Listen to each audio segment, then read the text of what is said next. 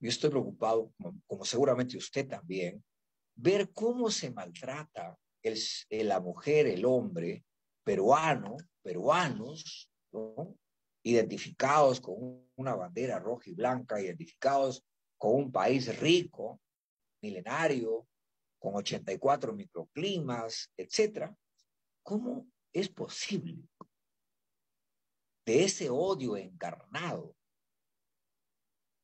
con una desesperación de dominio, de poder, sin interesar las vidas humanas, sin interesar las familias, sin interesar el resto. Esto es descarada la forma como se está actuando a nivel político entre el Ejecutivo y el Legislativo. El, mejor dicho, y varios congresistas de la República encarnado el odio. Y le digo con toda franqueza, se dan vueltas en Lima como el cuy en tómbola. ¿Ya? Es decir, de café en café, de restaurante en restaurante, de cena, de desayunos y almuerzos, muchos lobbies. ¿A nombre de quién? ¿Afectando a quién? A las mayorías del país. Ya quisiera ver a los representantes del Poder Legislativo del Congreso de la República, ponerse las botas y entrar a los campos, a los caseríos, a las comunidades, quedarse allí con la gente, así como en campaña que algunas veces hacen esfuerzos para ir a conseguir el voto. El pueblo está cansado, no de ahora, está cansado por muchos años, por muchas décadas, porque a decir verdad, si nuestro país ha logrado una calificación favorable en el mundo financiero, pero esta pandemia nos puso en, claro sobre la mesa que era un grupo pequeño, reducido de dominio del poder económico con mucha corrupción, con muchos lobbies, involucrando a políticos, a funcionarios, a medios de comunicación, a banqueros, en realidad, cuando yo me pongo a mirar, por ejemplo, la usura de las tasas de interés que cobran a la microempresa, a la pequeña empresa, realmente es indignante. ¿Ya?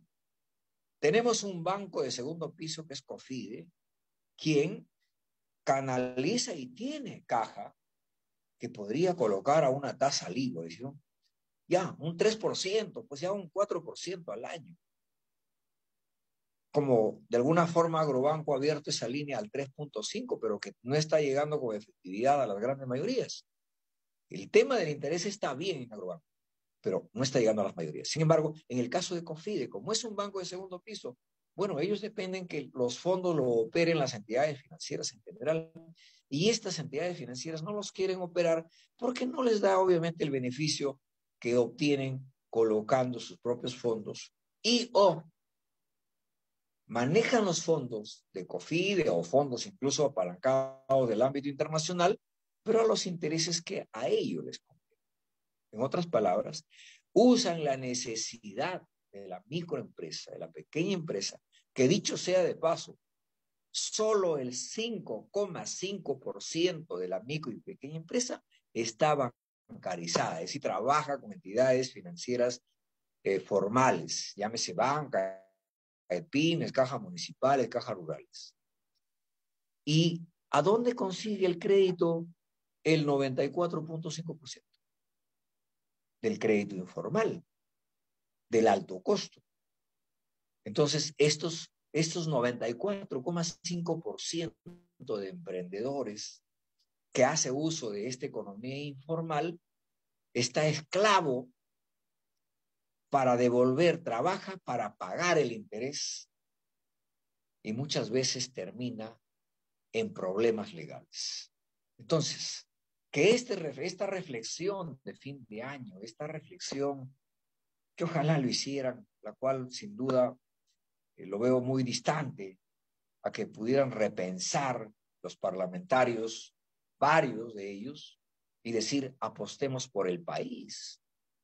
Que la autoridad lo juzgue a quien la tenga que juzgar, correcto. O sea, el Poder Judicial haga su trabajo, el Ministerio Público haga lo, suyo y el Congreso haga lo suyo, pero cuando digo haga lo suyo, es decir, dedíquese a fiscalizar, correcto, a legislar y a representar, pero yo diría que más necesitamos la representación que incluso la propia legislación, porque leyes tenemos más de 31 mil leyes. O sea, leyes tenemos muchas. ¿Cuál de estas se aplican y cuáles son acorde a la realidad de nuestro país? Ese es el tema. Entonces, lo que se necesita es un acompañamiento de nuestras autoridades para lograr canalizar la carretera, el puente, el camino, el puerto, el manejo de la producción, el manejo de la seguridad hídrica, de la seguridad alimentaria, de la seguridad ambiental. O sea, cómo acompañar a nuestros dirigentes, a nuestros presidentes de comunidades, de cooperativas y asociaciones, cómo empoderarlas a las mujeres, a los jóvenes, rumbo a una competitividad global.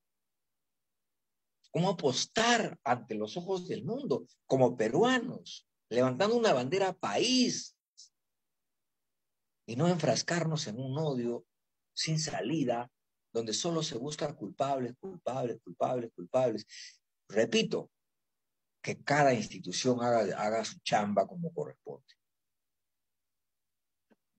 No estoy diciendo que no se haga el trabajo. No estoy diciendo que no, se, que no sancionen. Sanciones. Es más, las sanciones deberían de ser las más severas para los cargos políticos. O sea, deberían ser las sanciones las más duras para aquellos, por ejemplo, de la violencia contra la mujer, contra los niños. Deberían ser las sanciones más fuertes, más duras. Pero quedarnos en los dimes y diretes y quién tiene la culpa y que la ministra recibió un beso de su enamorado y eso es malo. cosas como esas. Pues.